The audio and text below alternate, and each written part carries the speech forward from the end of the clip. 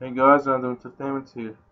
Uh, this is a quick uh, Amazon tutorial uh, on how to find your uh, message with the or email with the seller. Um, first, you have to go to Amazon.com. Then you have to be signed in. And from from here, you go to your account. After this, you go to your emails with sellers okay here it is. Click on that. Sign in. You are not signed in. Okay here's your uh, emails the seller. Uh, here you specify the filter. Last year last uh, 30 days.